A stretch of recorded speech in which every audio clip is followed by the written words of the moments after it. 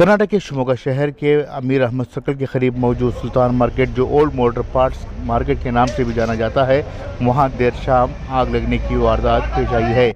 आग लगने की वजह अभी तक मालूम नहीं हुई है। अलबत्त फायर ब्रिगेड की गाड़ियाँ आग बुझाने का काम कर रही हैं।